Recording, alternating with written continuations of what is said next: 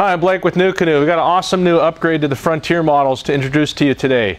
It's the Frontier rod tip holders. These are going to be standard on 2016 Frontiers and they're available as an accessory and install easily on 2012 to 2015 Frontier models.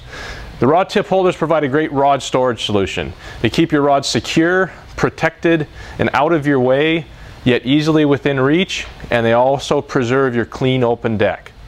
The rods simply go into the rod tip cover plate up by the bow and can hook around the clip right here and you see it just hugs the gunnel. The deck's completely open, the rod's completely secure. If you're paddling through grass or through brush, it's not going to get snagged, it's not going to get hooked on anything. The rod tip cover plate can also be used just to secure the rod temporarily, just sticking it in there, letting it rest, paddle, move on, grab your rod, cast it out again. So a lot of options. It's a really great feature to protect your rods, keep them secure, out of the way, yet easily within reach.